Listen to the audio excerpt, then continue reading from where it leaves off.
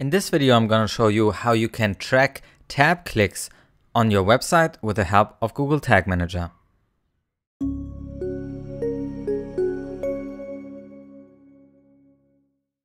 Hi there and welcome to another video of gtmtraining.com with me Julian and today we want to talk about how you can track tab clicks on your website with the help of Google Tag Manager and Google Analytics.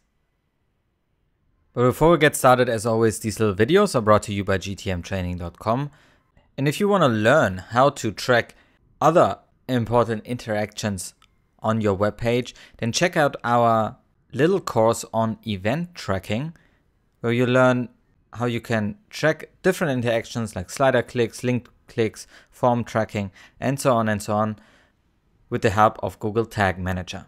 So check that out at gtmtraining.com slash event tracking and you'll also get a little bit of a discount for this course.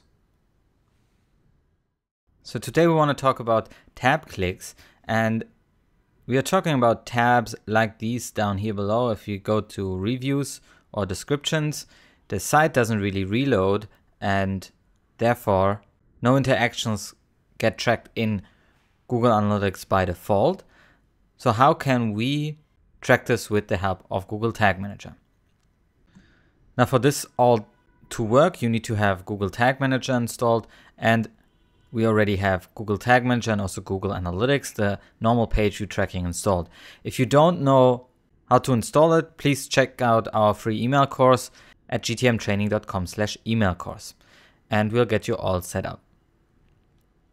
Now the first step in order to track those clicks, we need to go over to Google Tag Manager and build a generic click trigger. So we go over to click triggers here and click on new. And this will be our click trigger because we want to track clicks on these tabs. As the event, we'll choose the click event and then we can configure the trigger. There is an all elements and a just links option We'll go with the all elements option because this is a little bit more generic and it also depends how you have marked up your page in the HTML. In our case, these are links as well, but they don't trigger a page reload. So we'll go with the element that actually was clicked on. So I choose all elements here, click on continue, and then we come to the firing options. We'll get to this later. For now, we'll keep this on all clicks.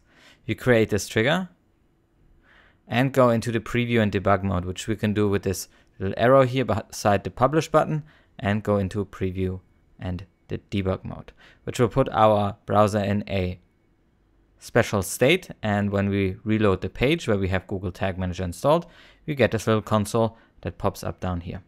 And it will register all the different clicks that happen on our website. You see that here in the event menu, we have different GTM clicks triggering. What we can do now is click on one of these tabs, and that was number nine here, and go also back to the description, that was number 10 here. Now we can uh, inspect these different clicks by clicking on the element itself and going into the variables. And here we have different click variables. If you don't see them, you need to go into your variable menu, enable them, and then reload your page. Then you get these click elements and we can inspect which ones of those get filled correctly with what values. Now we also have different clicks that I triggered at the beginning when we loaded the page and we can inspect those as well in order to see how do they differentiate each other from the ninth and the 10th click in order to build a filter to only fire our tag when somebody clicks on a tab. So sometimes the elements have a click ID, which is not the case here, or they have a certain class that you could build your filter off. But in our case, our variables only get filled with the click URL, which is pretty unique because we have this hashtag tab at the back here and it says reviews or in our case description and we can use this to filter down and only fire our tags upon the 10th and the 9th click. So let's go ahead and do that. Let's go over to Google Tag Manager and turn our generic click trigger into a specific one, which will only fire on tab clicks. I change the name here and what we need to change is only the fire on option, which is our filter, and we only want to fire this on some clicks. Now we can choose the variables that we just saw in the preview and debug mode, and we want to go with the click URL, and we only want to turn this whole trigger true when there is a hashtag tab in there.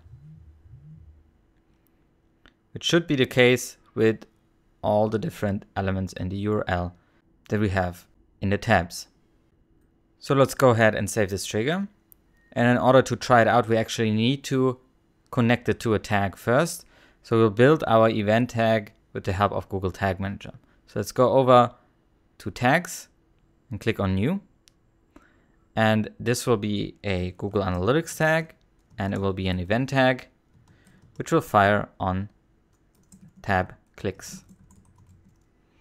As a product, we'll choose Google Analytics and go with Universal Analytics because that's the version that our account runs on. And then as a tracking ID, you would put in your UA ID. We already have it saved in the Google Analytics ID, which you also have a video prepared on that under gtmtraining.com slash Google Analytics ID. If you want to recreate that. As a track type, we now need to choose event. And then we can fill out our category, action, and label. In our case, I will call this tabs. Now I want to know which page this happened on, so I can actually choose a variable to fill this dynamically, which is the page path variable or the page URL variable. I'll go with page path here. And I may want to know what was clicked on. So was it review or description? I can dynamically again fill it with the click text variable as a label. So let's do that. Click text and we are all set. If you don't want this to affect your bounce rate, you can choose as a non-interaction hit the true variable and then click on continue and connect this tag to our trigger, which we can do under more. We have all our triggers and we have the tab click trigger, which we just built. Let's create this tag and refresh our preview and debug mode. And then go over to our demo shop and reload our demo page. And now I'm going to click on reviews. And we see we had an event fire, the GTM click event. Once we click on that, we see that tags fired on this event was the GA event tab click. And if you click inside of that, we can see how it was configured. You can actually look into the values and we see that as the event category, we had tabs. As the event action, we have the page that we were on. And as the event label, we have reviews. We also can check that in our tag assistant. We have here events and see the data here as well.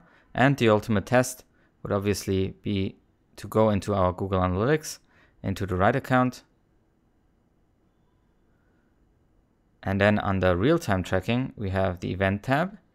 And we just saw that uh, just now there was an event firing. Let's try this again. click on description, go back. And we have another event coming in here. Since I had the non-interaction hit set to true, we can only see it under the events last 30 minutes, where we can see the category, the event action, and when we click on it, we can also see the label. So this got dynamically filled one time with description, one time with review number four, which is the click text of these different tabs. We can also try this out on a different product. Let's go here to a different product and click on a tab. Should get two more events and these are now changed dynamically to event action number 3, Woo Ninja number 3 and also the event label is transferred, description and reviews. So you can see the events coming in correctly and later you would be able to see them under your behavior report under events. This is not yet filled because it takes up to 48 hours to fill this with data. Takes about 30 minutes for me most of the times. All right, now that we have checked this all and did a little bit of QA, we are sure that it works. Now the last step would be to publish this to all our users so we can see what the users clicked on when they click on tabs. And that's already it with this week's video of gtmtraining.com. If you have any questions, please leave them in the comments below.